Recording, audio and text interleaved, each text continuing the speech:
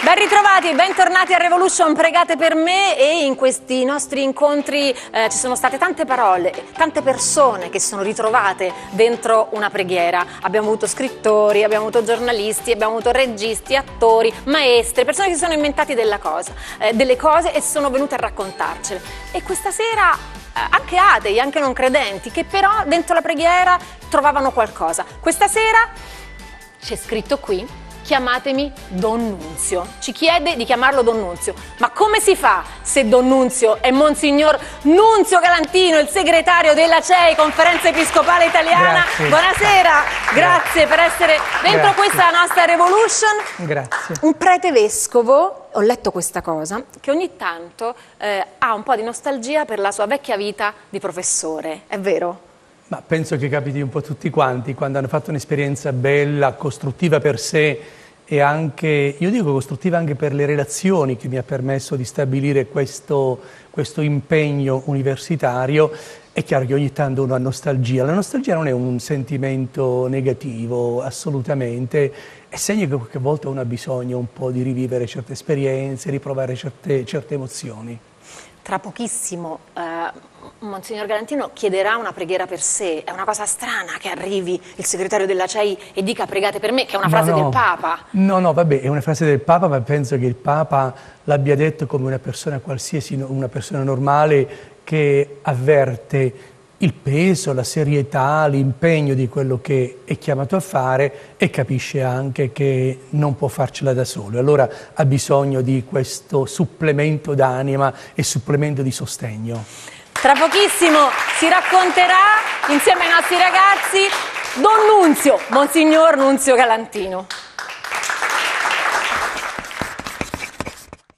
Questa sera, dentro la nostra Revolution, pregate per me, c'è Monsignor Nunzio Galantino, anche lui a chiedere una preghiera e anche lui a raccontarsi, anche dentro una preghiera. Prima dicevo che abbiamo avuto anche persone atee, non credenti, che però qui ci sono venuti, su quella sedia ci sono stati e alla fine hanno chiesto una preghiera. Cioè la preghiera è di tutti?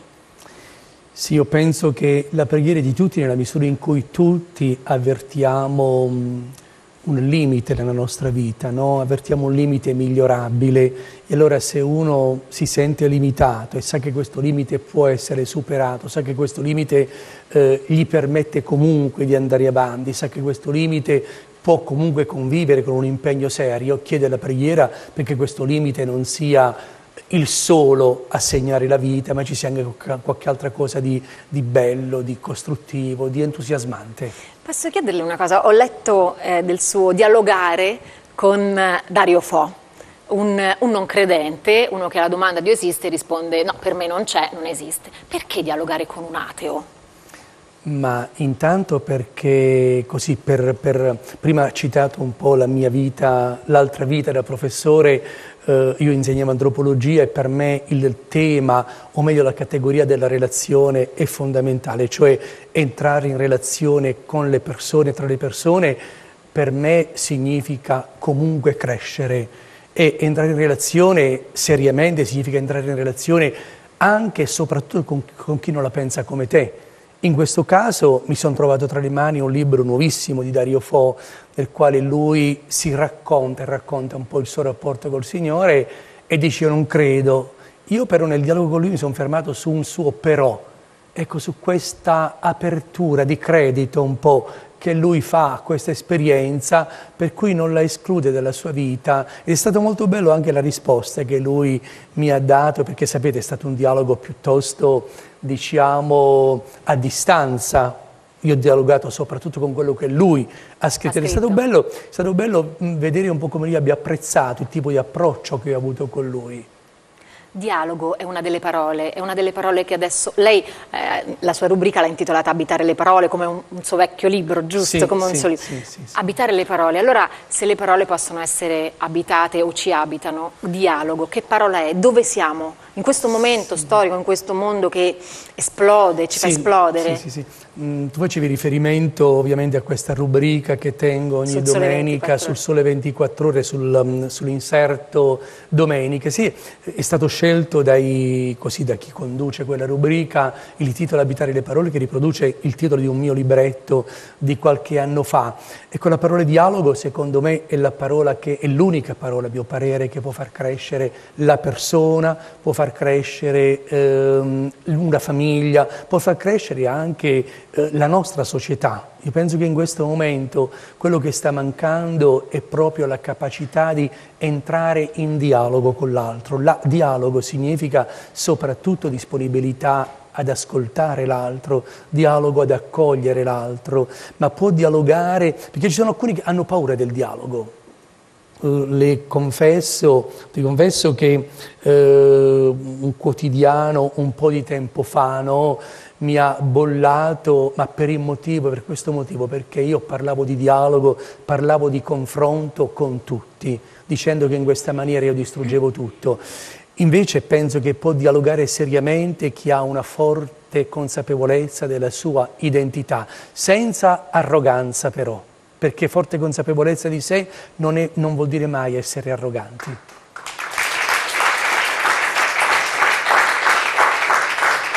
Il 3 maggio ci sarà un incontro, a proposito di dialoghi, il Papa ha dialogato con Scalfari e il 3 maggio ci sarà un incontro proprio anche sì, eh, sì. suo con sì, Scalfari. Sì, è previsto, è, previsto, è previsto a Roma, in un teatro di Roma, al Teatro Eliseo, un incontro pubblico tra, eh, guidato da Lucia Annunziata in un dialogo proprio nel quale in questo dialogo eh, Lucia Annunziati intervista eh, Scalfri, intervista me.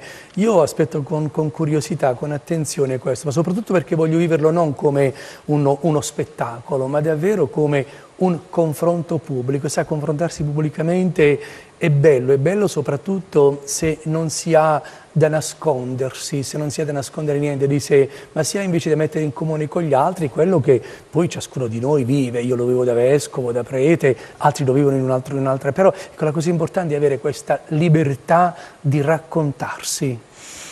Ci sono tanti ragazzi che sono pronti a interagire con Monsignor eh, Galantino, però eh, c'era una cosa a proposito di questo e del, di questo scambio no? aperto, questo scambio appunto che non chiude, non si chiude, non crea limiti. Il fatto che tantissime persone ora si definiscono eh, credenti ma non praticanti, altri invece che si definivano atei ora trovano delle aperture. Cioè, perché secondo lei queste due non so come definirle. Ma io penso che ci sia sempre stato un po' questo atteggiamento. Io non ehm, posso dire la verità, a me non sono, non sono, non sono molto simpatici questi atteggiamenti così che stanno a mezza strada. Sono credente, non praticante, perché uno che ha una fede, una qualsiasi fede, no? è un po' come un innamorato allora non esiste uno che è innamorato di una persona però non sente l'esigenza di accarezzare l'altra persona, di abbracciare l'altra persona, cioè di esprimere anche concretamente questo amore. Allora queste fedi, queste fedi un po' self-service, no? dove io me la canto, io me la fischio, non mi convincono troppo, devo dire la verità. Simone ha già il microfono con sé. Buonasera Don Nunzio. Eh, volevo chiederle come mai oggi eh, questo dialogo di cui lei ha parlato fra eh, religioni diverse sembra essere così difficile, se non addirittura impossibile. Ma intanto, mh, mm, tu come ti chiami? Simone. Senti Simone, eh, intanto non parliamo subito di dialogo difficile tra religioni, perché io potrei dirti esistono sicuramente dialoghi molto belli, molto costruttivi tra religioni. Avrai sentito certamente parlare anche tu delle grandi esperienze di ecumenismo, ma non da oggi, da tantissimo tempo. D'altra parte eh, il, Papa, il Papa ultimamente ha incontrato Kirill, esperienza straordinaria di incontro tra cattolici e, tra cattolici e ortodossi. Eh, io penso tu faccia riferimento un poco di più a tutta questa grande tensione che c'è tra il, tra il cristianesimo, soprattutto in questo momento, e una certa fascia dell'Islam e dell'Islam fondamentalista. E qui lì non parlerei di contrasti tra religioni, io parlerei di purtroppo eh, dramma, eh, drammatico scontro tra coloro i quali, tra coloro i quali non vogliono il dialogo, non accettano la differenza, non accettano quello che Don Tonino Bello chiamava il, la sinfonia delle differenze, la bellezza delle differenze e intendono invece omologare tutto. Ecco, la difficoltà è questa a livello di religioni, a livello anche di relazioni tra di noi. Se io sono una persona, se io sono una persona che non accetto la differenza, qualsiasi differenza mi venga dalla tua esperienza, io non sopporterò di stare con te e se mi è possibile io ti accopperò come dicono a Napoli, no? Ecco, a livello macro questo avviene tra, tra certe esperienze. Come non farsi schiacciare dalla paura? È una parola. Intanto teniamo presente che chi prova paura non è automaticamente un vigliacco. La paura fa parte un po' della nostra vita, per certi versi è un po' la cifra della nostra umanità. È terribile quando la paura diventa la chiave di lettura delle mie relazioni, quando io incontrando te mi rapporto a te con la paura di essere strumentalizzato, con la paura di essere eh, ridotto, semmai in schiavitù, non necessariamente fisicamente, ma anche in questo tipo di relazione. Ecco, la paura, secondo me, nasce nei momenti in cui noi veniamo sorpresi da qualcosa di imprevedibile, da qualcosa, da qualcosa che lì per lì percepiamo come superiore alle nostre forze, alle nostre capacità, però poi la ragionevolezza, l'esperienza, la vicinanza degli altri ci aiuta a superare la paura. Quindi la paura non è, non è assolutamente un segno di eh, debolezza assoluta, fa parte della nostra vita, l'importante è non rimanere schiacciati dalla paura. Anche un, anche un monsignore può permettersi di avere paura? Ma io prima prima di essere monsignore, come stai dicendo tu, sono una persona e spero una persona normale, cioè una persona che, eh, che, fa esperienza tante volte di sorprese, sorprese belle ma sorprese anche tante volte imprevedibili, sorprese di fronte alle quali uno resta un po' smarrito, quindi sono una persona normale e quindi come le persone normali provo anch'io paura, difficoltà, disagio rispetto a certe realtà mie personali ma anche di relazione con gli altri. Jessica? Credente non praticante, quindi però eh, no alle fedi fai da te, alla fede fai da te, ma la cosa più importante comunque non è avere fede. Certo, avere fede è importante, però bisogna stare attenti perché la fede di per sé dice rapporto con una chiamata che mi viene dall'esterno, no? un appello che mi viene dall'esterno. Anche la fede in, in, in un'esperienza politica. Si dice no, io ho fede in questo progetto politico. Cosa vuol dire? Che c'è qualcosa che dall'esterno mi incontra, mi interpella. Aver fede significa interagire con questa realtà, significa cominciare gradualmente ma decisamente ad orientare la propria vita alla luce di ciò che mi viene dall'esterno. Va bene?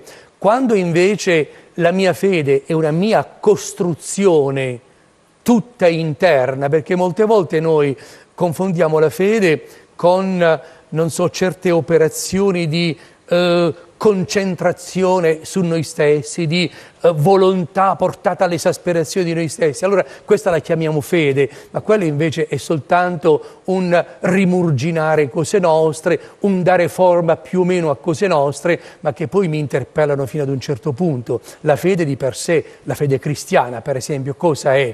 È un Dio che dice guarda, io ti voglio bene, io per te sono disposto a rimetterci la pelle, anzi ci ho rimesso la pelle. Ecco, di fronte a questa cosa, avere fede cosa vuol dire? O non avere fede? Significa dire, senti, a me di questa tua proposta non mi interessa un cavolo. Oppure avere fede significa dire, ah, da questa realtà io mi sento interpellato, vuol dire che tu mi vuoi bene veramente, ma nello stesso momento mi chiami a fare come tu hai fatto.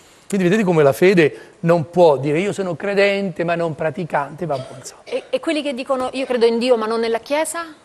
Ma anche lì, anche lì, eh, intanto la Chiesa non esaurisce tutta o tutte le esperienze di fede, la Chiesa cattolica non esaurisce tutta o tutte le esperienze di fede. È chiaro che la Chiesa cattolica ha la pretesa, tra virgolette, di avere, di avere questa, di, di, vivere questa chiamata da parte del Signore e di storicamente realizzarla, storicamente rispondere in una certa maniera, attraverso delle fragilità, attraverso anche tanti, tanti limiti, ma attraverso un riferimento costante alla parola di Dio, attraverso un riferimento costante a quello che il Signore, attraverso anche la Chiesa, dice. Eh, buonasera appunto parlando di dialogo, io volevo chiederle, eh, sempre mh, mm, parlando anche di fede, eh, viviamo in un mondo dove è difficile avere sempre fede al 100% e in un paese dove effettivamente, eh, non dico tutti, ma la maggior parte sono credenti non praticanti oppure credono in Dio ma non nella Chiesa. Ecco, in quale modo dialoga con queste persone? Vuol dire che queste persone non hanno una fede al 100%? Come si fa a trovare la differenza o a capire se è vera fede o non è vera fede? Sì, intanto così, siccome tu dicevi che dove quasi tutti in Italia non hanno fede o ce l'hanno, allora ti do una brutta notizia, una bella notizia, non è che sia proprio così, tant'è che Penso che in questo periodo di Pasqua qualcuno di voi, forse se pioveva, non sapeva dove andare, è entrato in chiesa, ci ha visto che ci sta tanta gente. Quindi grazie a Dio, ecco, non diamo l'idea di un'Italia, perché ho sentito dire anche sui giornali, ah ma non va più nessuno in chiesa. Guardate, a Pasqua io ho celebrato la messa nella cattedrale di Cerignola dove stavo, la chiesa era pienissima, ma non perché ci fossi io, perché, ma come t- tantissime altre chiese. Quindi ecco, eh, stiamo attenti anche a non, a non amplificare tanti, tanti luoghi comuni. Però ecco, dialogare con chi non ha fede è importante, è importante perché si mettono a confronto, entrano in dialogo due esperienze diverse. No? L'esperienza di chi questa chiamata è quella di cui parlavo prima, l'ha accolta e si sforza di eh, farla interagire nella propria vita e coloro i quali pensano di poterne fare a meno. Guarda che hanno tutti e due, se sono disponibili, hanno tutti e due da imparare, tutti e due da imparare. Davide, velocemente l'ultima domanda. La fede self-service ehm, appare molto nella Chiesa cattolica. Questo forse non è anche un problema di linguaggio da parte delle gerarchie? Forse non, non si riesce più ad attualizzare il linguaggio sì, io non fede. so dove c'è chi ti abbia detto, da dove abbia preso che soprattutto nella Chiesa Cattolica, perché essendo io uno che gira molto, vedo che questa tentazione della fede self-service è, una, è un, purtroppo una tentazione che tocca tutti, non soltanto i cattolici. Allora, messo, messo a parte questo fatto qua, la domanda fondamentale che facevi tu qual era? Non c'è forse un problema di linguaggio da parte della Chiesa Cattolica, è non vero, riesce ad attualizzarsi più? È vero, è vero che c'è un, un problema di, di linguaggio, c'è anche un problema di linguaggio nella Chiesa Cattolica, ma un po' in tutte quante le esperienze religiose, soprattutto quando eh, non riescono a rendersi conto che l'esperienza religiosa non è un'esperienza campata in aria, è un'esperienza che se non tocca l'uomo, il cuore dell'uomo, la vita dell'uomo e delle donne di questo tempo, diventa una religione campata in aria, una religione che non incide nella storia e il linguaggio deve essere quello, quello di chi quando parla parla di cose che si capiscono, si comprendono, hanno un senso. Monsignor Galantino ci ha detto che un po' di nostalgia ogni tanto per la sua vita da professore ce l'ha e allora sa che faccio? Le regalo la nostra lavagna ah. e anche il gesso così ci scrive il suo pregate per me.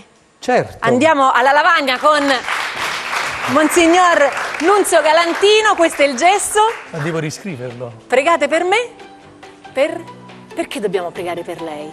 Ma innanzitutto perché sono una persona normale e come tutte le persone normali riconosco le mie fragilità ma c'è un motivo in più perché il compito che mi ha affidato il Santo Padre nella Chiesa italiana, cioè di coordinare un po' questo servizio dei vescovi e delle diocesi italiane, eh, non è che non richieda impegno, non è che non richieda energie, non è che non richieda qualche volta anche un bel po' di faccia tosta e di coraggio. Allora chiedo di pregare per me perché possa rispondere in maniera decorosa ecco, al mio compito e perché non combini troppi guai. Questa è la preghiera di Monsignor Galantino, la scrive, la sintetizza? Eh, sì, allora, perché mi pare che si scriva così, no? Adesso perché sì. a proposito di linguaggio. Non combini troppi guai. Questo è quello negativo, no? Ma poi soprattutto perché sia,